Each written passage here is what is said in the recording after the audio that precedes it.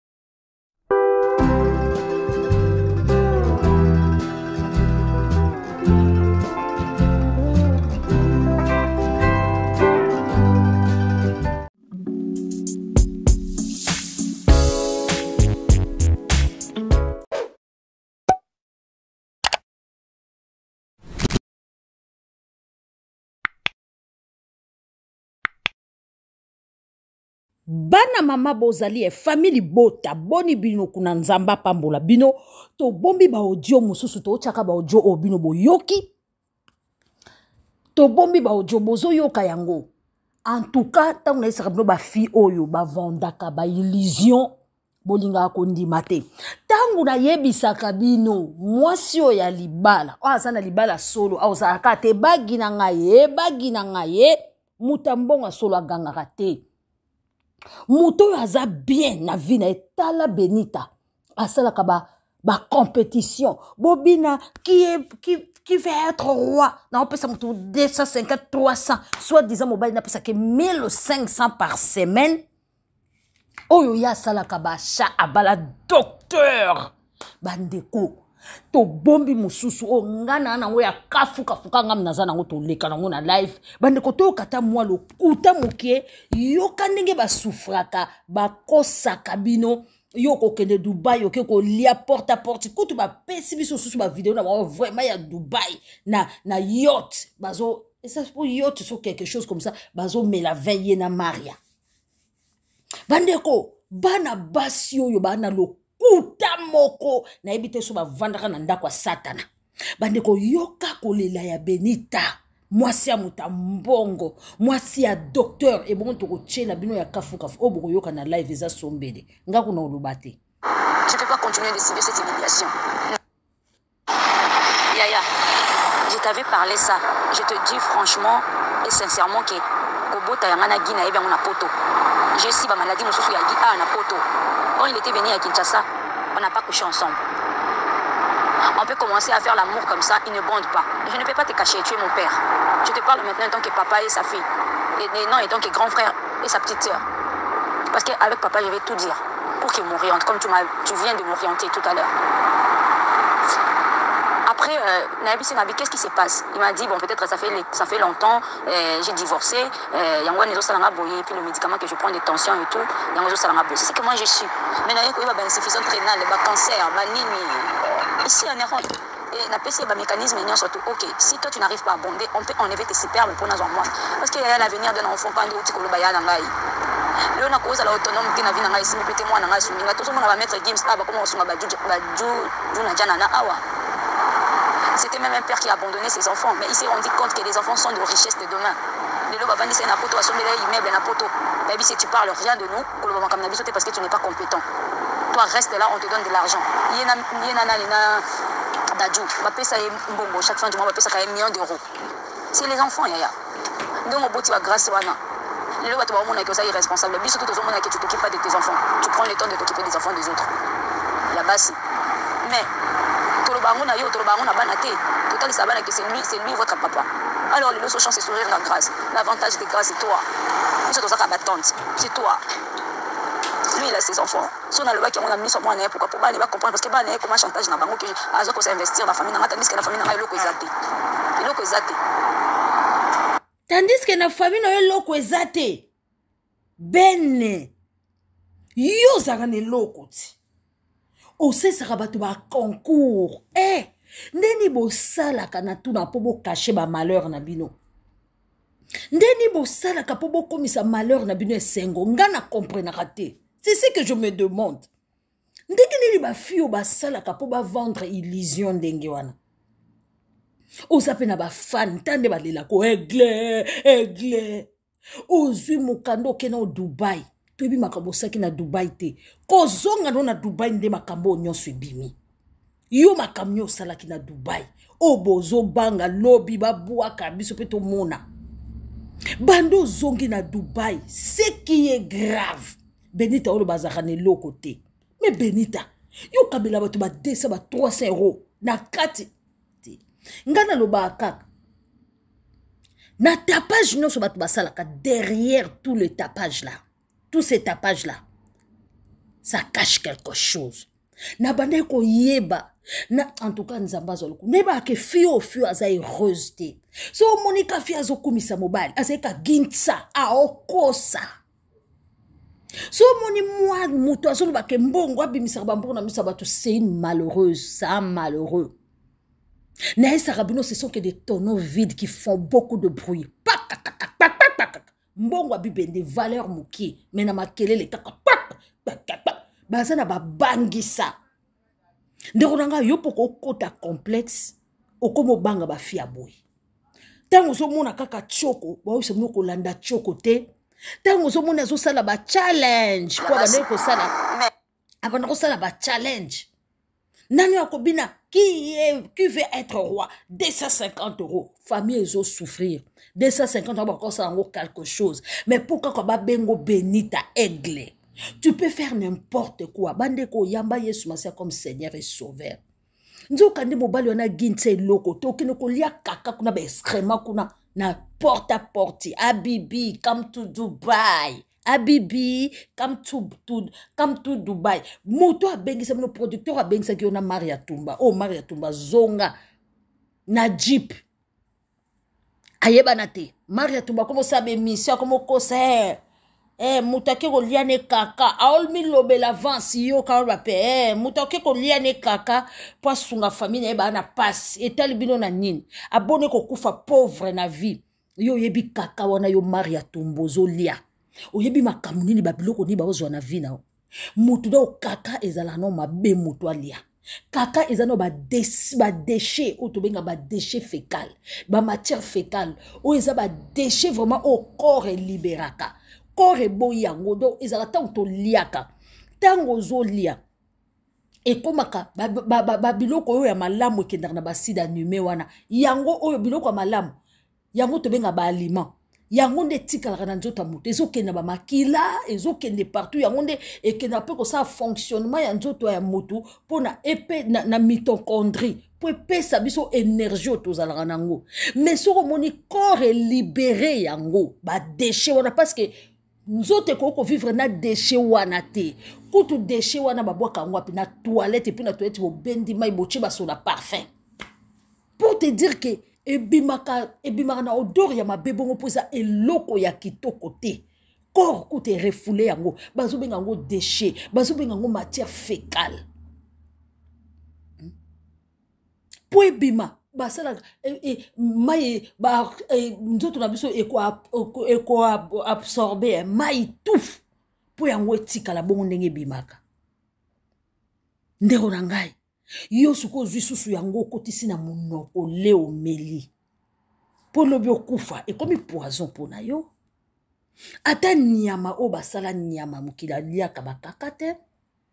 bandango na ngai boyoka likambo nzoka nde benita ti asalaka makambo nyonso azalaka nde na mbongo te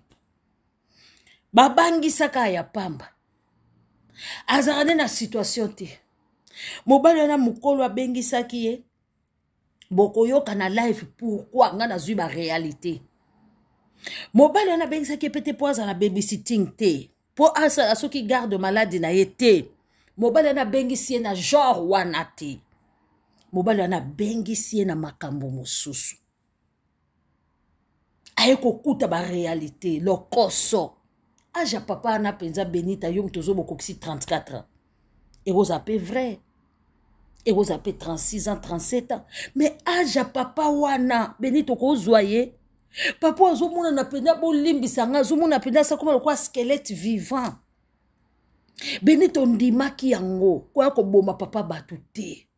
epuis makambo oyo osali otoli mwana wana bitodi ozali mongo oyebi na lobi yo okende koyebisa nidite ya tata ya bato epa mama e mwana na ye oloki mwana wana te oke koloba makambo ya barapport sexuel bosalaka na papa na ye yo moto omoni nidite ya tata mobimba eza papa na yo te olobaka e gi aza papa no te ma aza papa na bango ebandi na benita kanisa yo oboti mwana na yo oboti mona na yo mobali moko aya koyebisaka ye ndenge bosanganaka na mbetu ndenge ye abandaka te oyo ozoyebisa ya na yo toboyi te bokoyoka baodio mosusu bosi boyokaki azoyebisa le mwana ya papa wana eske oza juste bando outi dubai benita motu epete okende osani kuna abibi abibi come to dubai okendaki kosala nini boni basango ya bakope na oyo ya bambwa mm -mm. boni sango ya bakope ya bambwa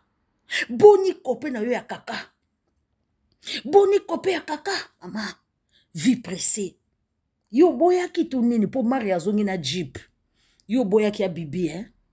oboyaki ya bibi me babi koloba te so omeki oloba yo moto oluka kobota yango producteur nini yango abengisa ye bino na dubai yo eyebanaka te bokenda kobeta ndule kuna bokenda kobeta nini kitikitoki tomoni na biso te bandeko bafi oyo ngai nayebisaka bino nayebisaka bino oyo bamongo baba bolena bolena bomoni hmm? boloka boyoki bolena eske boyoki mpe bomoni hmm. international mokili mobimba ayebisaka bino kaka verité bosolo na youtube soki oyebisi bango boye oza jalousie jalousie ya kokende kolia kaka hmm? nga na kolinga vi wana te jalousie ya kozwa tata moko ya mokolo bongo ya mokolo oyo aza na bamaladi 4 na nzoto benita nde bato bayokeli yo jalousie bozaka bagi nga na bala nzoka nde na nsima kamera bolelaka bagi ka baninga ye baninga ye ngae nasi na bali eh! bino bwana lokuta moko lokola banganga nasuka kaka baverité na bino ebimako kaka eh! Eh! mama eh! nakosuka wapi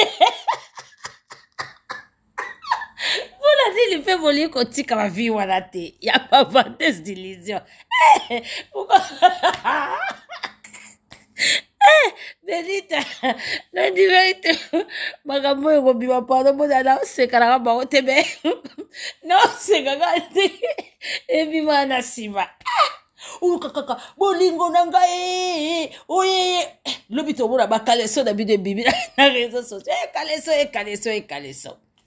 ah! vraiment est-ce qu'on peut faire comme ça même adama lita badestin oko opesaka sikoyo koma oluka mobali ya gene okomi luka mobali oyo bobota nde mwana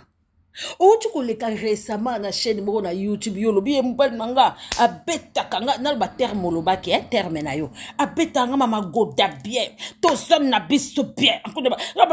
eh, bwa monoko makasi e hmm? okoyoka kaka nsima ya video wana elelo ne lelo mpo nini boyaka kobangisa bato oza no na vie te okomonela nazongisa mokanda na yo mpo nazwaki nsima na yo e eh. ozongisi nao mokanda te vandisa papa bato kalme luka bazemi no libanda kuna so mpo oya obotela papa na oboteli parceke yo moko olingi oluka libanda obi obimaka na bakope na yo vandisa papa na kalme benita makambo ozosala ondire outaki komona bambwa torture nini yo ozwaki na dubai mbala moko aigle akomi ndeke aigle aza mpe kaka ndeke mai aigle akomi pigeon bikenda akenda bitambola atambola bilulalula succès babotamaka nango mpifo mpifo ewutaka na nzambe succès babotamaka nango bolukaka koforce koyebana te yango bozokóma na nivo oyo koyebana eza moto mosusu omona ayebana na tiktok ayebana na instagram na youtube ayebanaka banda kala na quartier avandaka ayebani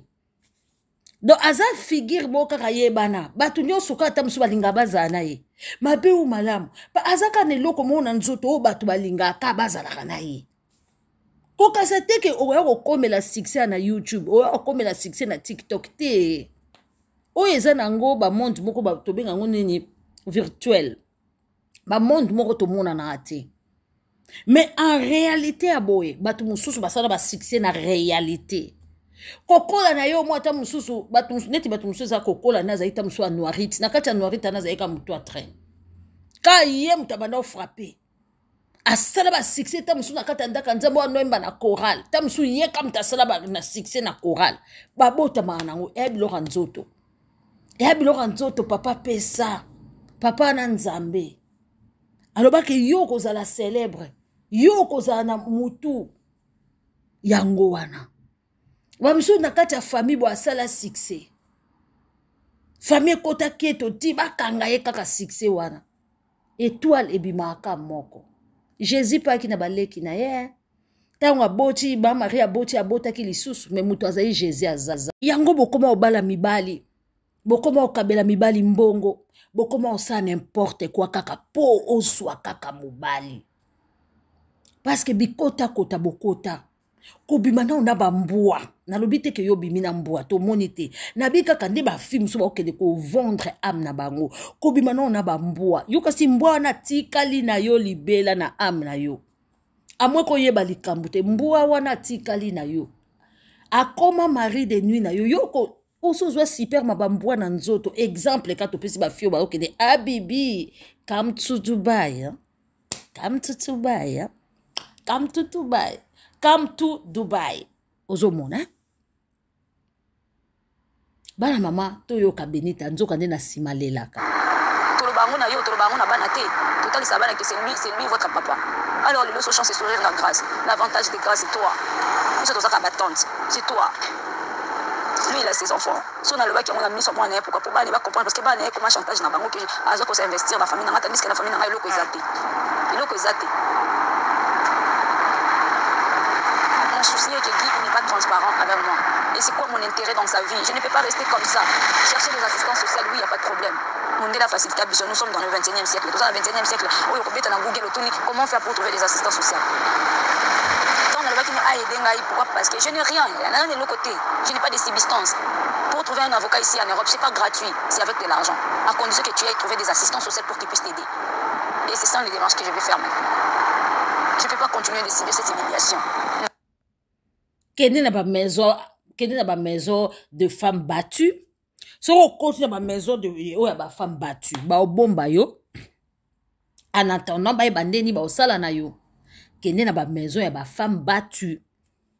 okeka ovandi kuna okonstate femme batue kaka oyo babeti makofi na baproblème oza nango na nde bana nde batelemelaka yo en plus bakanyeli yo boyo oyoka bakanyeli yo babiki ifo basala yo mabe benita yeba oyo nini yo olingi omoni verité ti ebimaka kaka ta nde boza bavendeuse des illusions bozovendre baillusion bobebisi ba generation combien okendei na kinshasa kuna ta langage ozopesa ba peter roir boye kuta koloba yango awa eza te na miso ya bana bana bando oloba yango oyebi eza eza makambo moko ya bien te yo moko olobaka mpe mwa français hmm? ntina mona motunu ezalaka yeyeye nayebaka ke mwana mwasi oyo azomaîtrise eloko moko te donc nayebaki komaîtrisaka libala wana te kotala kaka yo na tata wana emonanaka ke omaîtrisaka libala wana te epuis nde boselesaka fere bafingaka bafingaka bafingaka bokoma batraumatise bokoma komona ke eh, nakosala bango boye na nko mais yo moto ozosouffrir eh, baba baza balesheki bamusu yamba mais benita yo moto ozosouffrir mikolo nyonso ozalaka na barando ozalaka barando na bato bata olekisaka bata olekisaka na tiktok cela prouve que ozalaka heureuse te ka batemp olekisaka na, na, na tiktok bamakambo osalaka salaka emonanaka ke ozalaka heureuse te na bino mpe tokolobela bino batata mikolo eh? pourkui bino bosilisaka vite omoni e eh? tala bakoma oloba motakala na yo makambo osalaka na mbetu liboso ya mwana na yo mpo olobake papa ginsa ata ozali docteur mobimi ridicule hein? obimi ridicule pourquoi parce que bino mibali ya bato ya mangala surtout bakongole balekisa mungwa bolingaka te vie esila mpo na bino na age wana ya ginsa na yo mpe benita bokende obota mwana mpo mwana bima bolimbisa ngai baage mosusu bapekisaka mwasi abota okoki kokufa no yo kutu mwasi bien mais ginsa wana mwana okokisaka 5 akufi ti tolakele mabe te on touche le bois mais akozala na makasi nini ginsa wana okoboma ye mpo alamuka na ntongo akenda kotika mwana classe nde biso tozalaka ozwi mwana su na 16 heures obimi su na ntongo ginsa wana pa kala mingi te azozwa pension na ye ti hmm? ibali mpe bozwi biso basi ya baafricaine ba, ba, ba mibali ya baafricain eza na temps moko mpe motu fo ozwa plaisir na yo na temps na sens nini oboti bana bana bakoli ekomi na temps moko sikoyo bokendaka bavoyage na mwasi bovanda mpe na mwasi bosala lokola bozala bacope copine hein? bino bozalaka kaka to okomisi age ya, ya, ya 50 ans olingi kaka kobota ofo nabota mwana mwana mwasi mpe ata oza na baage ya ba 40 quelque olingi kaka kobota mais non ere moko mpe fo kosukisaka kobota bosala mpe makambo mosusu eh, na vie bariske ya, ya, ko, ya kobota ya kimokolo ekoma koboma nango pambapamba eh? me bapapa na biso bagintia bolingi kaka bana mikie na age na yo wana okokaki kozala na mama ya bana na yo na bana no tala bana no bakomi lokola bazoba bakomi oyebisa bango sexualité na yo ndenge ezali na mbetu oyo eza komodire bana okoki kozwa mwasi ya kilau mwasi wana abandi kotanga eloko eloko na nkombo na yo lokola zaadi lokola zadi mibali bokolaka yango bozokufa vent mabe eleki tobima nanu na biloko oyo tozalaka nango ka banoir tozala nao civilise tokende nanu boye papa mpenza tobi papa na age moko nanu boye neti totya nanu 50 ata mwana mwasi ata mwana mobali oboti mwana mwana no na 10 aza na okomisi ya 60 okoki kopema te donc mwana wana akobotama na baparent moko bakoko amoin kobota te na vie amoin kobota te na vie tomonaka ka vie eza kobala mobali nyonso ya congolais soki akuti na bana 4 5 ye ata aza na bana libanda oyaka obotelanga mpe moko okobotele mpe moko okipe mpe mwana wana malamu te hein? okobotele mpe moko ofrene baprojet na yo nyonso non benita ezalaki mposa ya poto moto esalaki yo oyo okomi poto yango omoni mpe mapata ekwei te sikoyo ozwi nde mokanda yango olingi okima